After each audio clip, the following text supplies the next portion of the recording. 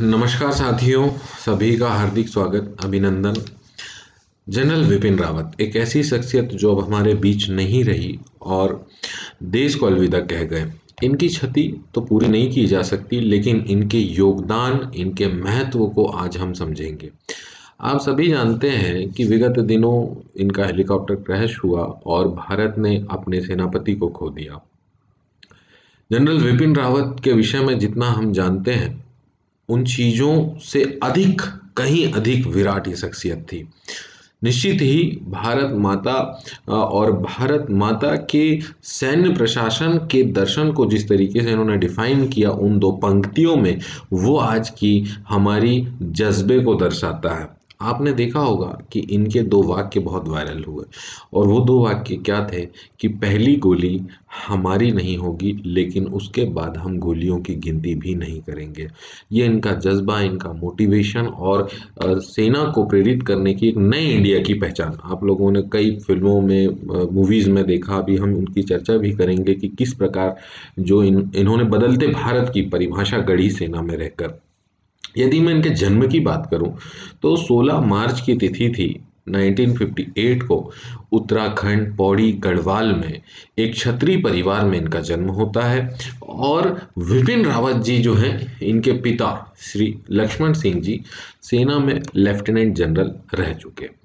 इनकी बात करें तो इन्होंने देहरादून में अपनी हाई स्कूल की, उसके बाद शिमला में जो है एडवर्ड स्कूल में गए। सैन्य देहरादून एकेडमी में इन्होंने अपनी आर्मी की ट्रेनिंग पूरी की और धीरे धीरे अपने स्तर को वहाँ से आगे बढ़ाया। यदि हम बात करें तो ये 31 दिसंबर 2016 को भारतीय थल सेना के प्रमुख बने। ये वो दिन था जब इन्होंने भारतीय थल सेना की कमान अपने हाथ में ली। पूर्व army chief general Vipin Rawat जो थे, उन्होंने पहली उपलब्धि देश में अगर कोई हम बोलते हैं कि पहला प्रधानमंत्री, पहला राष्ट्रपति, पहला मुख्य न्यायाधीश तो ऐसा पहला पद जब दो, देश में 2019 में गठित हुआ, जिसने अंतर्गत इनको सीडीएस देश का पहला चीफ ऑफ़ डिफेंस स्टाफ बनाया गया। कई बेहतरीन पुरस्कारों से इनको सम्मानित किया जा चुका है, जिनमें परम विशिष्ट मेडल भी है, उत्तम सेवा मेडल है, युवा युद्ध पदक है, सेना पदक है, विशिष्ट सेना पदक ऐसे कई पदकों से इनको सम्मानित किया गया।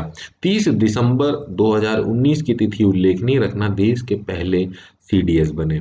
संभवतः हमें एक भारतीय नागरिक के नाते ये पता होना चाहिए, और अगर आप तैयारी कर रहे हैं एग्ज़ाम की तो उसके नाते भी इनको जानना है।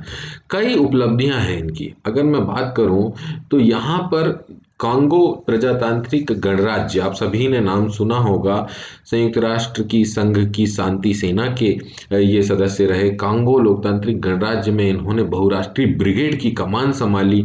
गोरखा ब्रिगेड के ओर से जो कि सेना अध्यक्ष बनने वाले ये चौथे थल सेना अध्यक्ष रहे और कई ऐसे मुकामों को इन्होंने अचीव किया। याद रखें, हमने 2016 में जब पाकिस्तान में सर्जिकल स्ट्राइक की थी तो उस योजना, उस प्लानिंग का हिस्सा, जब थल सेना अध्यक्ष थे और उस प्लानिंग का हिस्सा निश्चित ही ये रहे हैं, और इन्होंने भारतीय सेना नियंत्रण रेखा के पार करके आपने मूवी में देखा है विकी कौशल वाली कि भाई कैसे जो है हाउस जोस बोला जाता है, और वहाँ से पार करके पीओ के पाक ऑक्यूपाइड कश्मीर में चली जाती है, और वहाँ से जो हम देखते हैं कि दिल्ली का जो हेडक्वार्टर है, जहाँ पर प्रधानमंत्री जी और सब लोग जो हैं इसको मॉनिटरिंग कर रहे होते हैं तो आपने देखा है वहाँ इनकी उपलब्धि कि ये जो सेना का बदलता दौर आने वाले विगत कुछ वर्षों में हमने देखा और जिसकी नींव इन्होंने रख गई है, ये आगामी भारत के लिए अतुलनीय है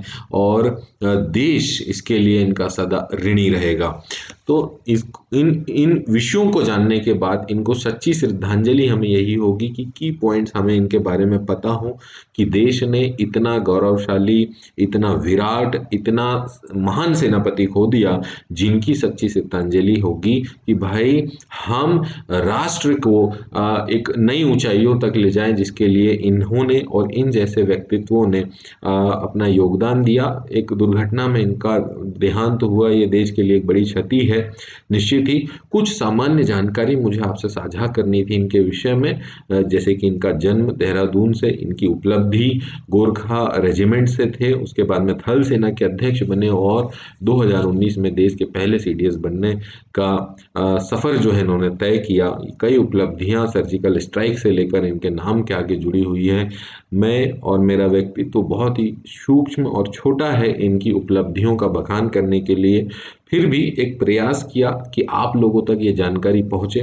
कई माध्यमों से ये जानकारी आपको नहीं होती है तो ज़रूर अगर इस वीडियो के माध्यम से आपको कुछ नई जानकारी मिली तो बिल्कुल बहुत बहुत धन्यवाद। और ज़रूर अच्छा लगा तो इसको लाइक करें शेयर करें सब्सक्राइब करें अन अकेडमी को।